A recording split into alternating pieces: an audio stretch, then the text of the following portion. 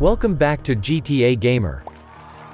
A few hours ago, a user by the name Luke Ross 00 has posted the latest script hook files on his GitHub page.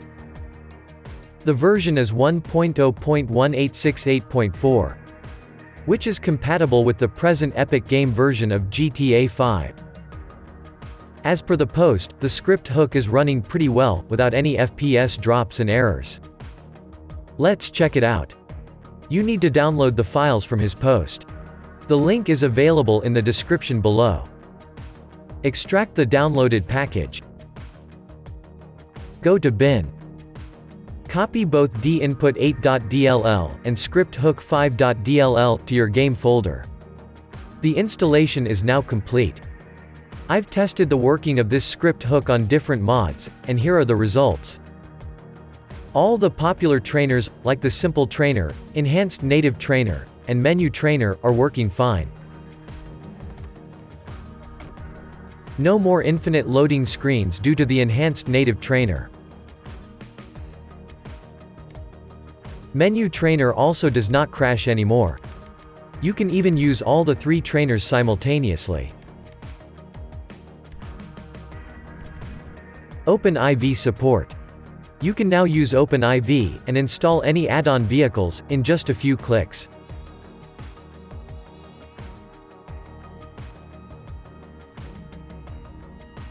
Add-on vehicle spawner is working.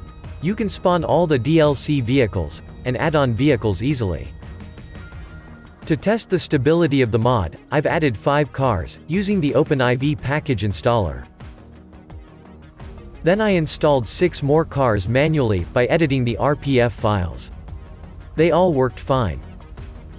I have then spawned all the cars at once. At this point, the chances of game getting crashed are high. But the game stayed relatively stable. That too without the support of Game Config mod, and Heap Adjuster mod. Coming to the scripts, I have added two simple scripts to the game. One is the blower script for the Dodge Charger car and the other is a fuel script mod. They worked fine. Add-on PEDs, and superheroes can be added to the game, and spawned using the add-on PEDs menu. Here comes the best part of the video. I have installed two graphic mods for the game. One is the Natural Vision Remastered, plus Visual V. Played the game in different locations, and at different times of the day. These graphic mods tend to cause FPS drops during nighttime. But the Natural Vision mod has worked pretty well. And the next graphic mod I used, is the Redux mod. All the reshade presets that come included with this mod, had worked fine.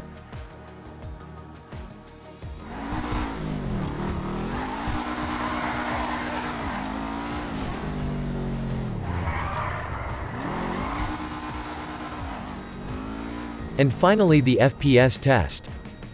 Here is a side-by-side -side benchmark comparison. One without script hook. And the other with script hook DLL installed.